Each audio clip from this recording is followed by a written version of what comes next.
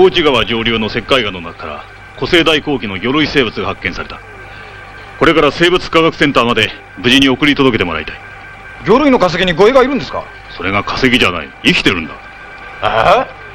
え3億年前の魚がまだ生きてんですか？うん。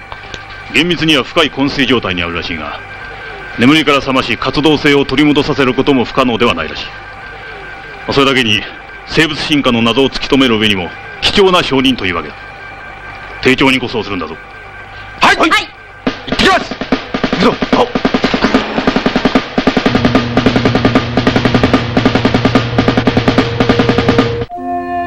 同じ日休暇の三河隊員は中学時代の同窓生で今は名の知れた劇画作家栗虫太郎の家を訪ねていた。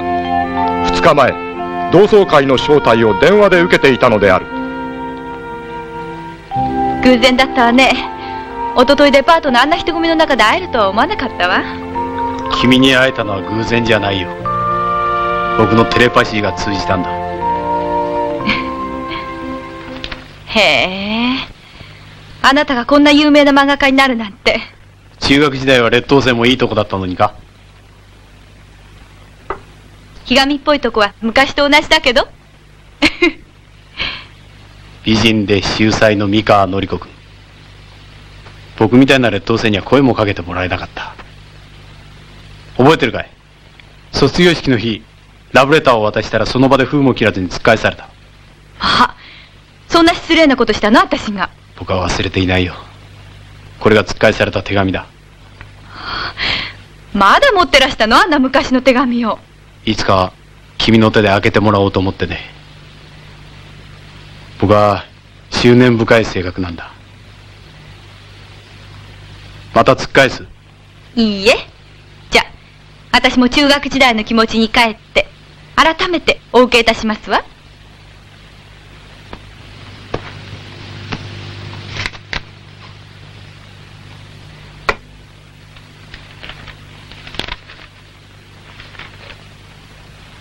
あの頃から漫画だけは得意でね君の気を引くにも漫画しかなかったんだ。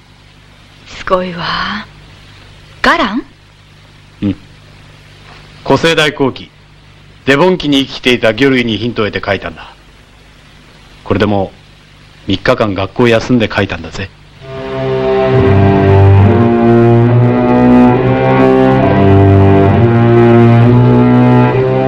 腹が動いてる。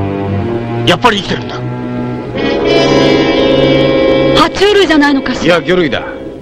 3億年前は日本もまだ海の底に沈んでいたんだな。へえ日本が生まれる前から生きてるなんてすごいやつだな。さあ墓地を出発するか。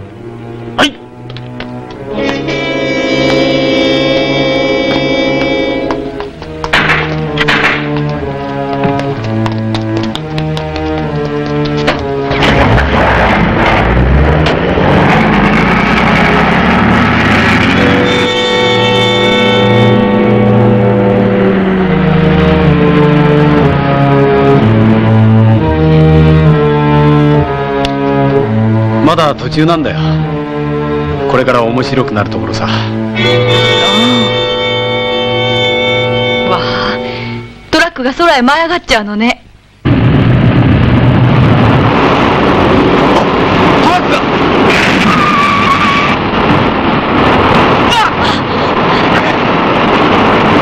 助けてくれ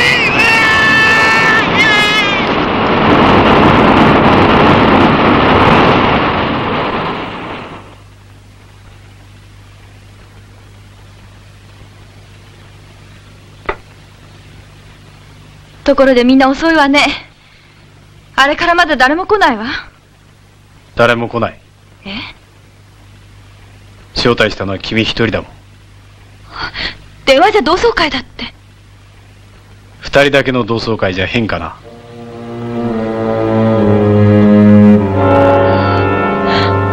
あなたどうしてそんな嘘を？そろそろ聞いてきたようだね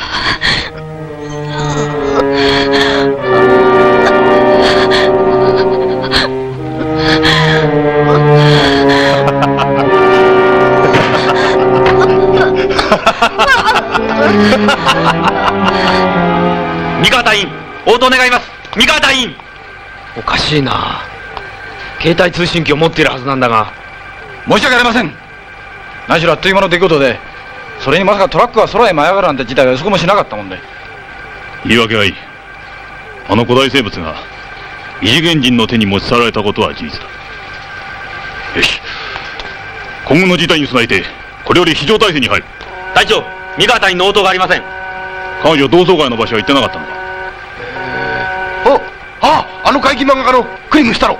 彼のうちでやるんだと言ってました。山中吉村三河隊員の消息を確かめてすぐ呼び戻してくれ。はい！それから今度北斗両隊員私と共に大地山上空のパトロールに出発する。はい！南隊員はここに残って三河隊員の代わりに通信の方を頼む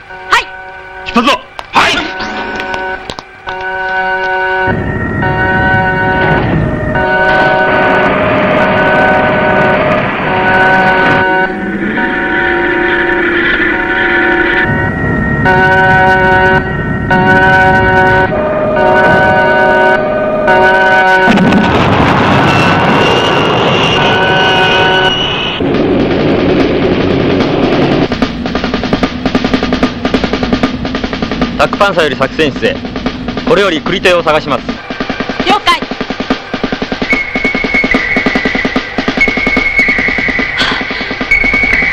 バックパンサーの頭上に落下物発見。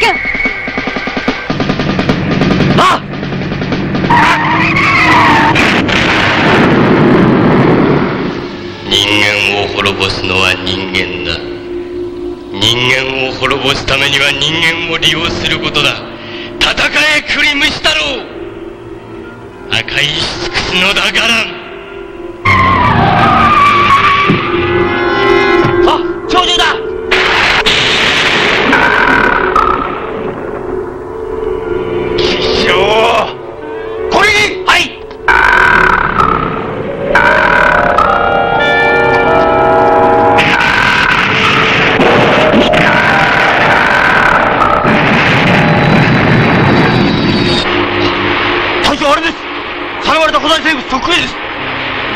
改造されたのか仕方ない。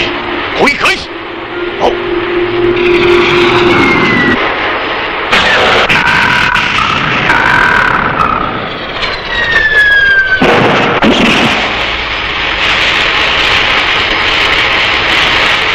北斗アローに分譲発進了解。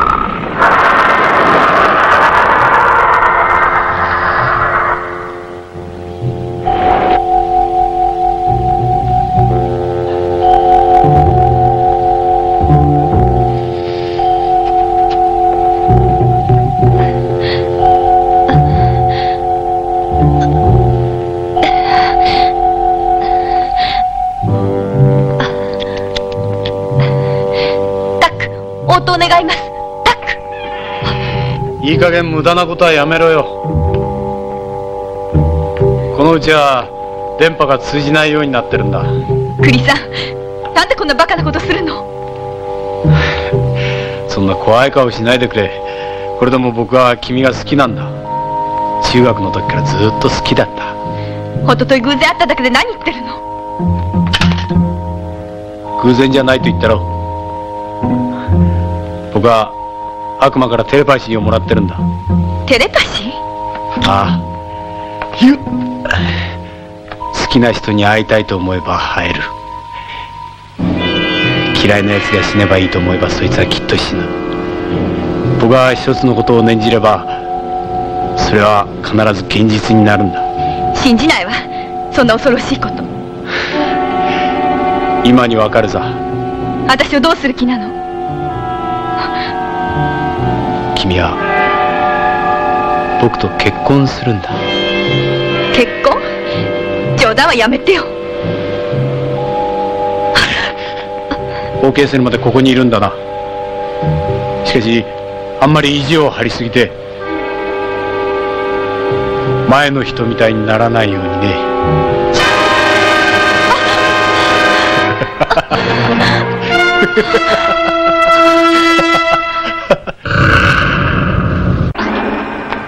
隊長。整備関係でもファルコンの故障の原因は不明だと言ってます。タックガンだってどこも故障なんかしてなかったんですよ。やはり電波で遠隔操作されたとしか考えられません。電波で遠隔操作されたのならケーキは来るはずだ。あの時ケーキ類に異常はなかった。あと考えられるとすれば精神感能。つまりテレパシーによる遠隔操作だな。テレパシー？私もテレパシーで遠くの物体を自由に動かす実験を見たことがあります。うん。間違いない。何者かの強力な霊の力が我々の戦闘を妨害したんだ。一方昨日から消息を絶った三河隊員の行方を追っていた吉村隊員はやっと栗亭を探し当てた。三河さんがお帰りになったのは夕べの7時頃だったかな。二さんのクラスメートと一緒に二次会をやるんだとおっしゃってね。そうですか。どうもお邪魔しました。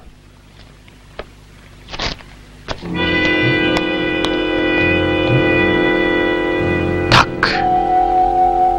今に皆殺しだ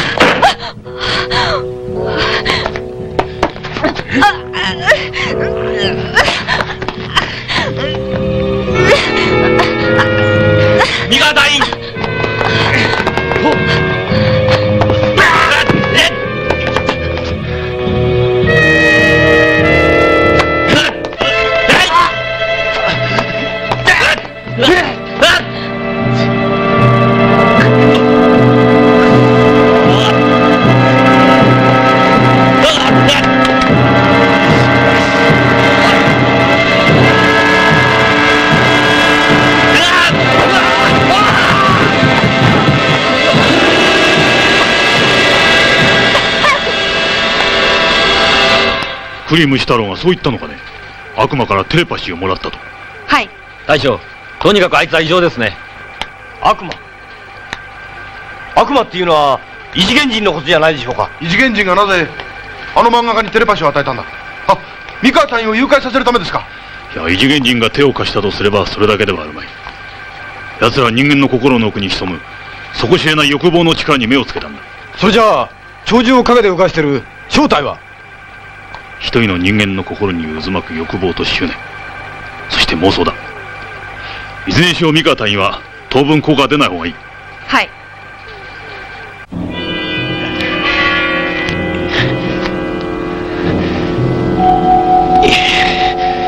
ガランよ。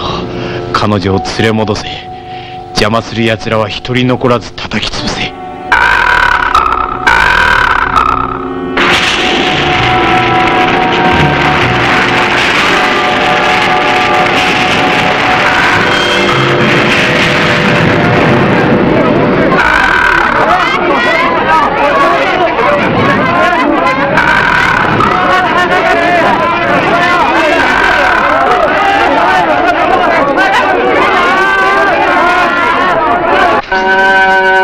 三河隊員三河隊員隊長からも言われてるでしょう。あなたはガランの前に姿を見せてはいけないんだ。地上からの攻撃だけで勝てるわけがないわ。ガランは私を追ってきたのよ。私は戦うわ。三河さん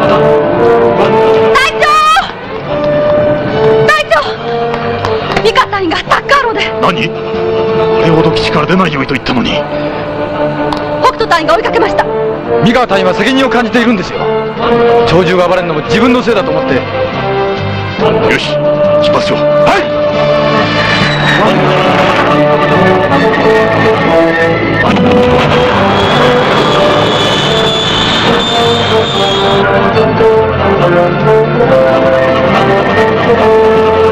何もかも破壊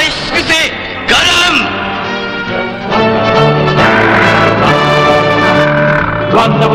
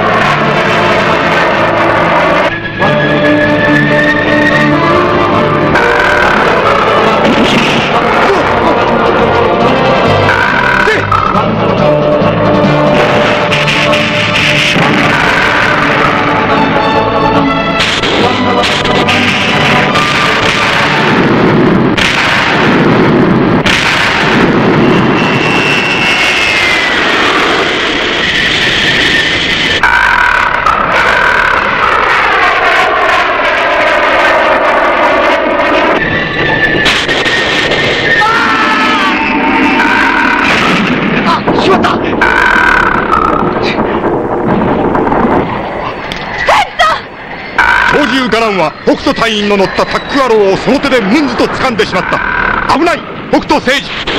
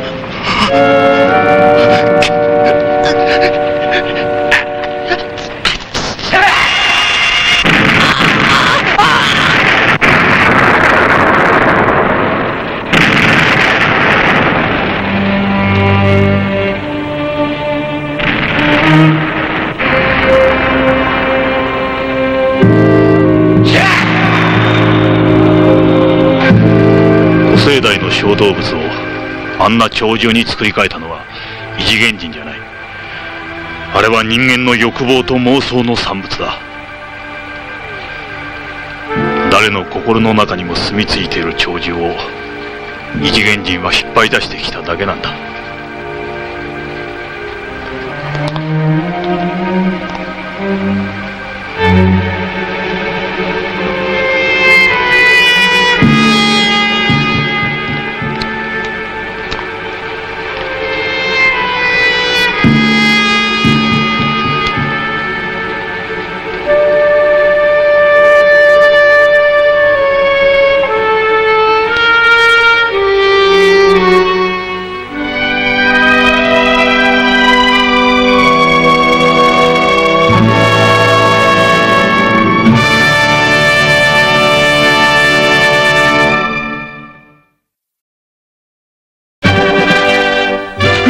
が次々と恐怖のあり地獄に引きずり込まれる。大あり鳥獣あり文太とタックの死闘。聖治と優子の変身。ウルトラマンエースとゾフィーの手に汗握る活躍。さあ来週もみんなで見よう。